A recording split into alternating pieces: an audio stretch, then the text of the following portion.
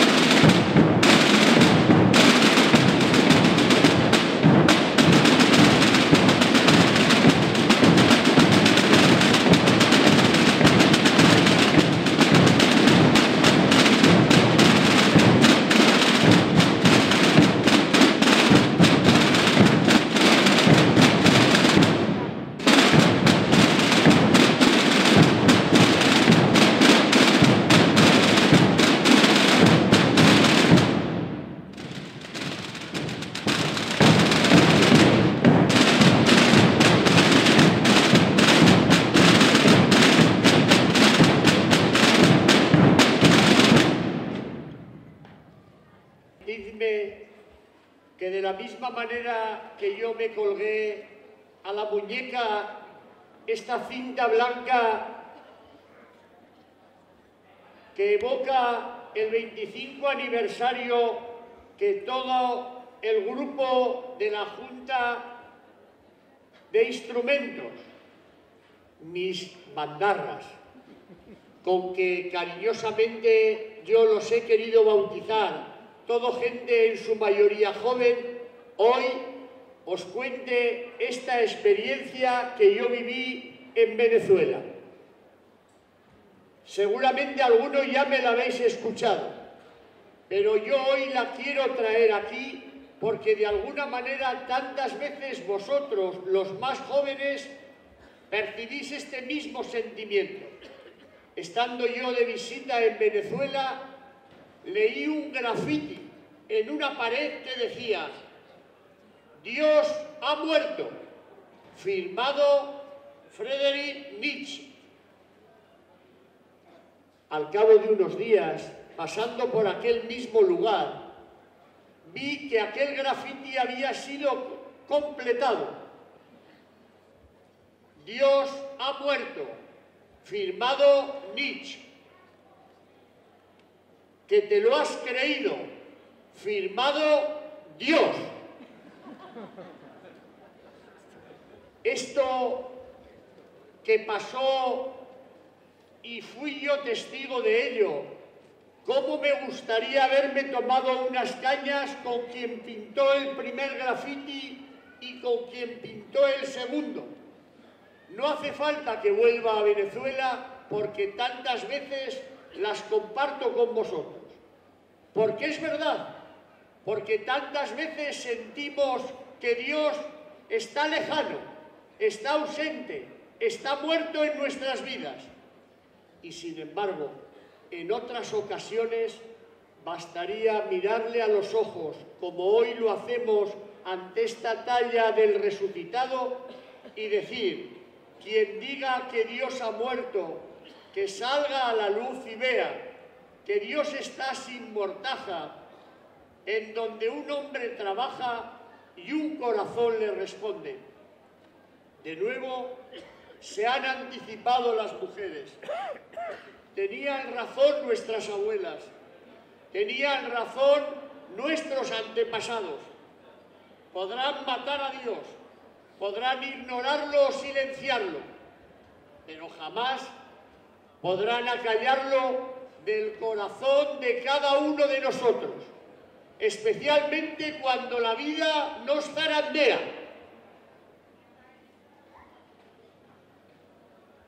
Su voz seguirá resonando en nuestro corazón, porque todo hombre y toda mujer lleva en su interior una energía que necesita ser liberada. Es la dimensión de trascendencia, es precisamente el anhelo de plenitud, el anhelo de felicidad, el anhelo de libertad, el anhelo de eternidad. ¿Quién no quiere ser feliz de los que estamos aquí presentes y de los que no están? ¿Quién no quiere verdaderamente ser auténtico y libre? ¿Quién no quiere de verdad vivir con plenitud su vida? Porque hemos sido creados con un corazón que solo puede ser satisfecho por aquel que lo creó. Tengo que decir, cofrades, gracias por ayudar a este aprendiz de pastor a callar y a silenciar la voz de Barbastro y dejar que solo el corazón hable durante tres días por lo menos al año. Yo creo que no solo durante tres días, sino durante los 365 días.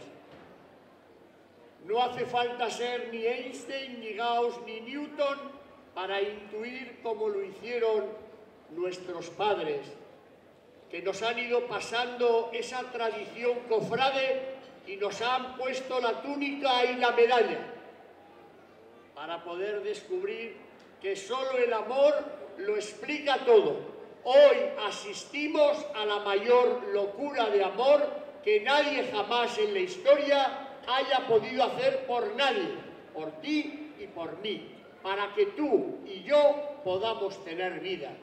Ojalá toda tu vida tengas vida, pero si en algún momento la niebla de la tristeza, del pesar, de la cruz, carga sobre tus hombros, que sepas que solo abrazando la cruz como hizo Él, te llevará al pórtico de la gloria, a la plenitud de tu vida. Termino felicitando a la Junta Coordinadora de Cofradías, a los siete presidentes con sus juntas de gobierno, al delegado y conciliario de las cofradías, por vuestros desvelos y por vuestra implicación. Sin ella no habríamos podido flotar estos días en Barbastro. Gracias también y felicidades a los portantes y penitentes por hacernos estremecer ante el paso del misterio de Dios en cada una de las personas. Yo me iba fijando en todos los que estábamos en las orillas viendo pasar los pasos, cómo los ojos a veces se enrasaban o cambiaba nuestra faz precisamente porque cada uno sabía qué es lo que le estaba queriendo decir a esa dolorosa o a ese Cristo o a esa Verónica o a cada uno de los pasos. Felicidades de nuevo a los bandarras porque una vez más habéis servido como el gallo de la pasión. Os pedía que hicierais un selfie. Han llegado al buzón de este obispo cientos de selfies, pero os tengo que confesar que el que más me ha llamado la atención ha sido el de uno que no es de aquí, por eso lo digo, y se hizo el selfie con el gallo.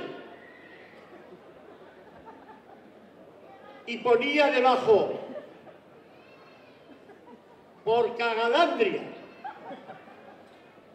Y yo pensaba, ¿qué razón tiene? Porque Cagalandria en egeano es por cobarde.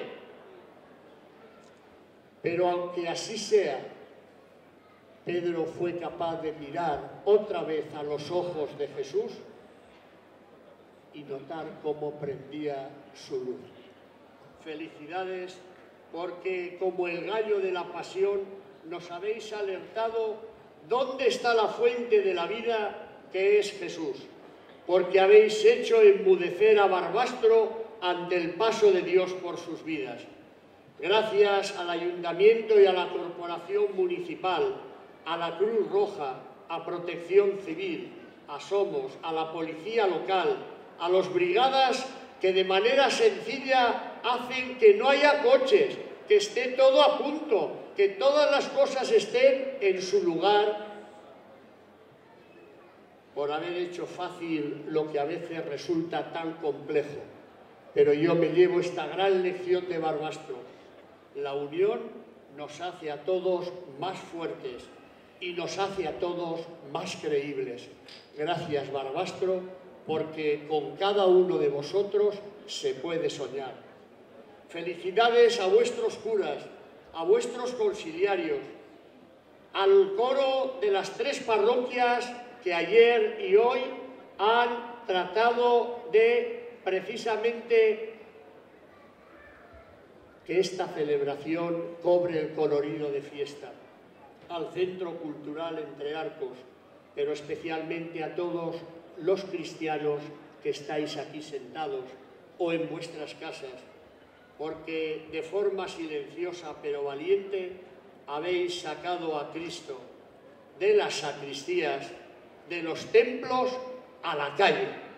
Por eso, gracias de nuevo por ser con vuestro obispo apóstoles de calle. Será nuestro grito al final, apóstoles de calle. No somos apóstoles de sacristías, somos hombres y mujeres y cómo me emocionaba ver a los jóvenes con su medalla al cuello por las calles de Barbastro, en cualquiera de los lugares. Yo soy cofrade. Es lo mismo que decir, yo soy de Jesús. Y siendo de Jesús, la vida con sus valores se transforma. Hagamos y os invito a que me ayudéis a ser cirineos para que el virus que se extendió en Barbastro con los cofrades podamos llegar a impulsar la revolución de la ternura.